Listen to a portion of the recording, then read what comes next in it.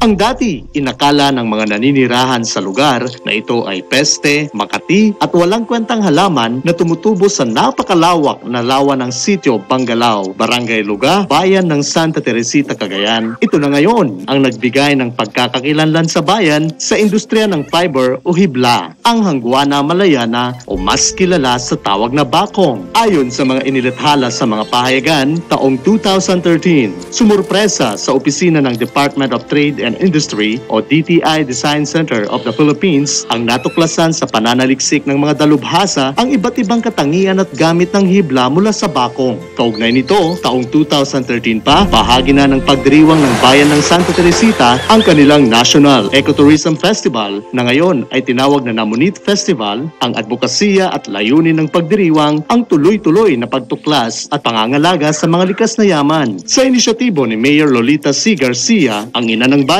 natuklasan ng mga mananaliksik sa kanilang pag-aaral na ang fiber o hibla ng bakong ay marami palang gamit at pakinabang.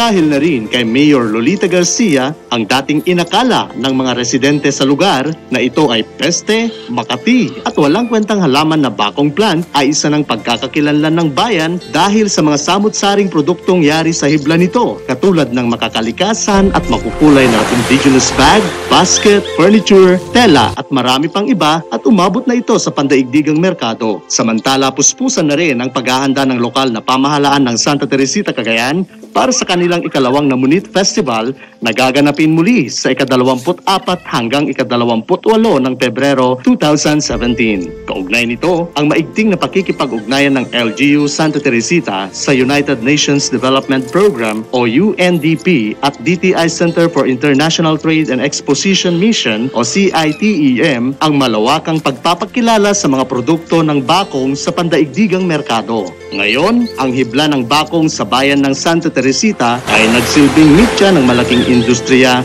dahil sa mga dulot nitong karagdagang hanap buhay at pagkakakitaan sa mga mamamayan at inaasahan pang lalago ito. Higit sa lahat, nagbigay ng karagdagang atraksyon para mas lalo pang makilala ang bayan ng Santa Teresita, hindi lang sa bansa kundi sa buong daigdig. Ilan lamang yan sa mga natatanging likas na yaman ng Santa Teresita, Cagayan. Kaya halina't magtampisaw sa lawa ng Bangalao, halina't mamasyal at mamangha sa mga naiibang ganda ng kalikasan.